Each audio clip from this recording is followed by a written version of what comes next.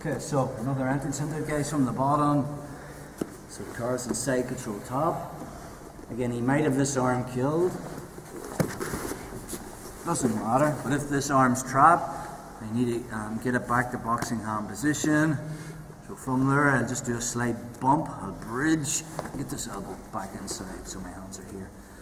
Okay, so I'm going to drape my right hand between his legs.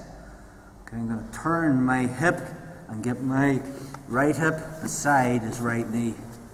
So when I push his leg and straighten my right leg and brought it as far as I can, I'm just going to step over and hook it with my left hook.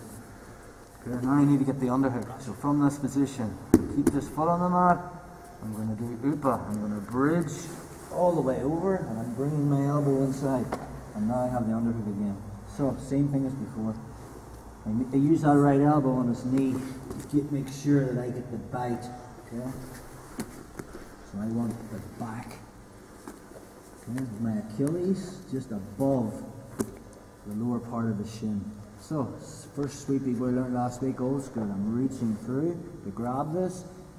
Carl doesn't want me taking his back, so he'll probably stick a whizzer, an overhook on that arm. If he hasn't the whizzer on, I'll be into his back straight away, which we'll look at in a second. But as I reached that, he posted his leg, so this should look familiar. I'm immediately going to hit Nagara sweep. I move my hips under his to get the grip, but now, as I went to hit that sweep, he's released that whizzer, that overhook. So now it's a free ride to the back. So from I have my underhook, I just bump him forward. As I come up, he's going to turtle. I still have this underhook, but I still have this leech hook. So there's a couple of ways I can get on the back from here. Left hand still got the belt, right hand's posted on the mat. I'll use, I'll bring my right knee beside his right knee, and I use that leech hook to lift his knee up. And a windshield wiper, my foot inside, secure harness control. Drop him onto his hip as I move my hips back, so I'm into my harness position. Again.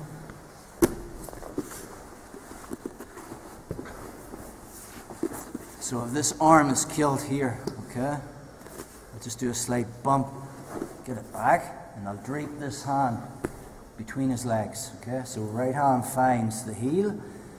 I want to make sure that my right hip is beside his right knee, and I'll turn slightly onto my side.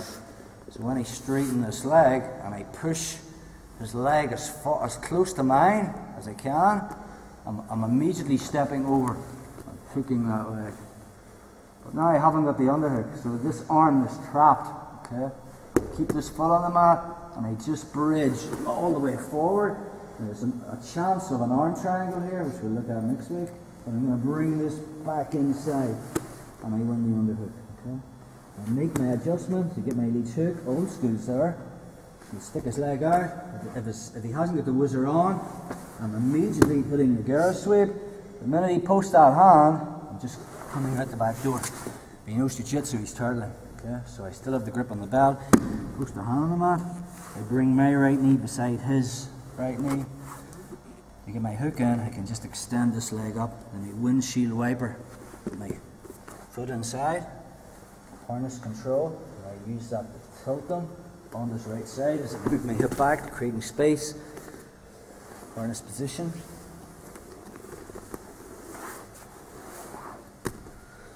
Maybe he hasn't that arm killed, so I'm just in boxing hand position. It's even easier then. So just turning slightly onto my side to get this hand here between his legs.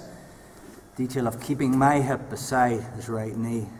And I'll turn my hip slightly so when I straighten my right leg and I push his foot to get his leg as close to mine and I just hook it.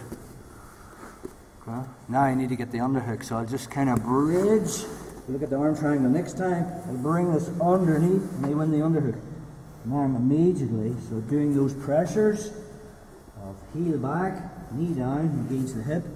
Old school's there, but I, as I go to grab it, he posts this leg. Now I'm thinking of the Nagara sweep. But as I move my hips under his, he posts with his hand.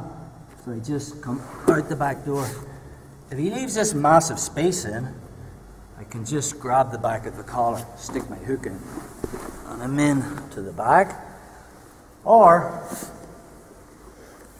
from that position, again, sometimes people are heavy on this leg and they try to lift this up and it's not going to happen. So I can still keep my harness control, but I like this leech hook. I lift it up and I use that to tilt him onto his right side and as I do I just drag my right knee under his right knee and into the back as well. So there's a couple of different entrances into it. So let's drill for five guys, yeah.